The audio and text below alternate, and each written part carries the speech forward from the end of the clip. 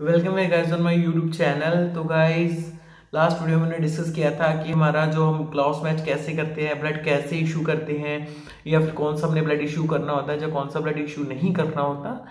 तो गाइस आज हम आपके लिए लेकर आए हैं आर्टिफिशियल ब्लड आर्टिफिशियल ब्लड क्या होता है? अगर हमारे पास फॉर एग्ज़ाम्पल हमारे पास पैक सेल नहीं है और किसी पेशेंट को पैक सेल की ज़रूरत है तो उसकी जगह हम आर्टिफिशियल पैक सेल उसको ट्रांसफ्यूज कर सकते हैं। लेकिन आर्टिफिशियल जो हम रेड सेल ट्रांसफ्यूज तो कर सकते हैं, लेकिन आर्टिफिशियल रेड सेल ट्रांसफ्यूज होता क्या है? आर्टिफिशियल ब्लड होता क्या है? अगर हमें आर्टिफिशियल ब्लड का पता होगा तो हम ट्रांसफ्यूज कर पाएँगे। तो गैस आज हम इस वीडियो में देखते हैं कि आर्टिफिशियल ब्लड क्या होता है, उसकी डिस्कवरी कब हुई थी, उसका फ़ंक्शन क्या है, उसके बाद हमारा यूनिवर्सल डोनर कौन सा है यूनिवर्सल रिसीवर कौन सा है, और बॉम्बे ब्लड ग्रुप क्या होता है। बहुत बच्चों को ये भी कंफ्यूजन रहती है कि Bombay blood group O positive ही होता है।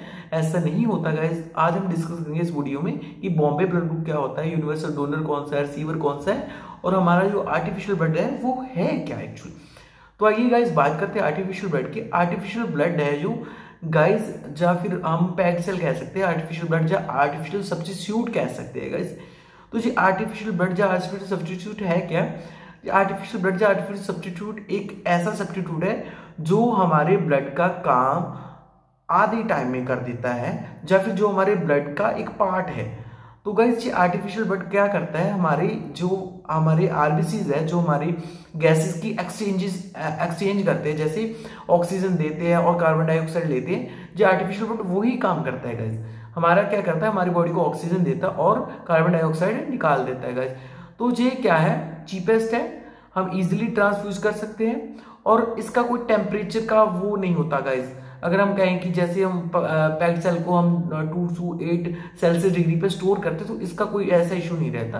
तो ये सब्सिट्यूट है, जो कभी भी किसी भी लेबोरेटरी में बनाया जा सकता है। लेकिन अगर अच्छी टेक्निक और विद हाई अथॉरिटी डॉक्टर्स तो गैस बात करते हैं जो हमारा आर्टिफिशियल ब्लड है दो तरह का होता है। One is a haemoglobin based oxygen carrier मतलब कि जो हीमोग्लोबिन जो आरबीसी हीमोग्लोबिन ऑक्सीजन को कैरी करते हैं और हमारे हमारे जो लंग्स है, जिसे जहाँ पे हमें ऑक्सीजन चाहिए होता है या किडनी फेलियर या या कोई कोई हेमरेज है या फिर कोई अनीमिया है तो यहाँ पे हमारे ऑक्सीजन की लोड होती है। तो जी ऑक्सीजन की कमी को पूरा करता है। और सेकंड वन है हमारा पर फ्लोरिन कार्बन पर फ्लोरिन कार्बन क्या है हमारा?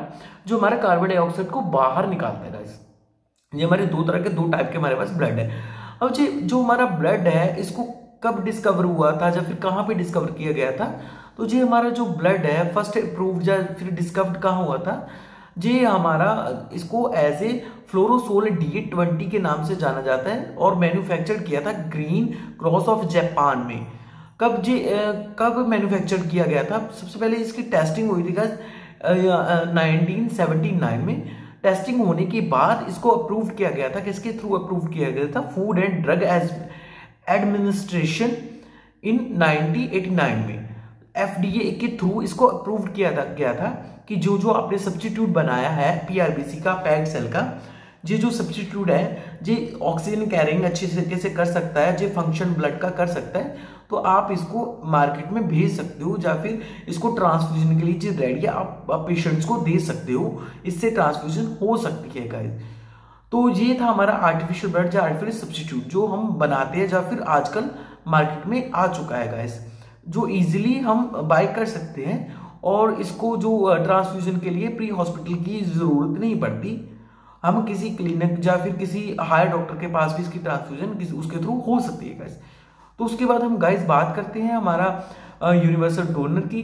तो यूनिवर्सल डोनर हमारा कौन सा गाइस यूनिवर्सल डोनर हमारा ओ नेगेटिव है guys O negative universal donor क्यों है? या फिर ओ पॉजिटिव क्यों है गाइस तो हम बात कर लेते हैं। ओ नेगेटिव हमारा इसलिए यूनिवर्सल डोनर है क्योंकि उसके सरफेस पे कोई भी एंटीजन नहीं होता गाइस तो जो इजीली हर एक को हम जो डोनेट है इजीली कर सकते हैं गाइस उसके बाद जो हमारा यूनिवर्सल रिसीवर है guys this is the A B positive A B positive universal receiver क्यों है गैस क्योंकि इसके सीरम में इसके सीरम में कोई एंटीबॉडीज प्रेजेंट नहीं होती.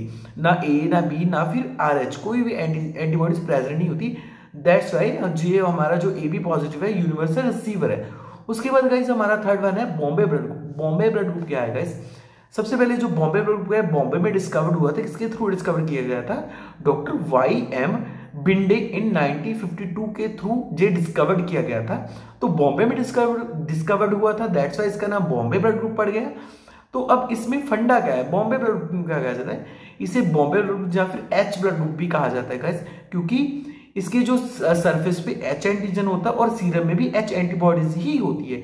इस एंटीजन और एंटीबॉडी की वजह से इसे बॉम्बे ब्लड ग्रुप कहा जाता है। और ये बहुत ही रेयर है गाइस मोस्ट प्रॉपरली ये हमारे इंडियंस में ही पाया जाता है।